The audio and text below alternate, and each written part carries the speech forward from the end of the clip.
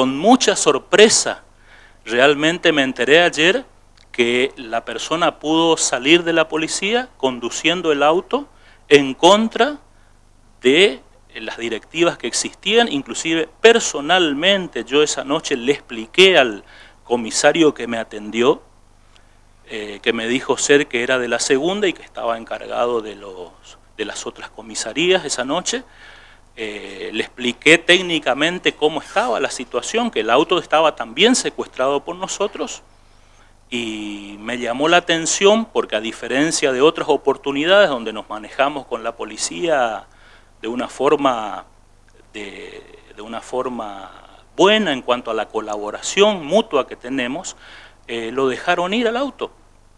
Me parece extrañísimo teniendo en cuenta que toda la mañana los inspectores estuvieron presentes hasta que se haga la verificación dispuesta por la jueza y digamos lo han liberado.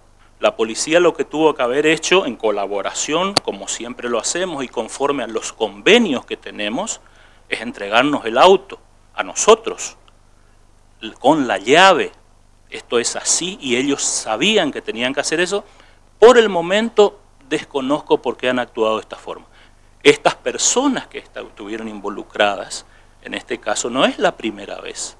Ya en el mes de marzo, y tengo en mi poder en este momento, una funcionaria de tránsito ya ha denunciado a un integrante de esta familia que también estuvo involucrado ahora recientemente, y tenemos la copia de la denuncia, por las mismas razones de pasar semáforo en rojo y no acatar las órdenes de la dirección de tránsito.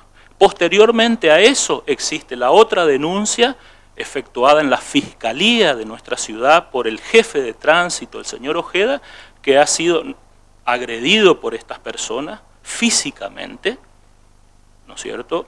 Eh, abundaríamos mucho en el tiempo si tenemos que explicar los detalles, pero y ahora tenemos otra denuncia más, sea, con las mismas personas.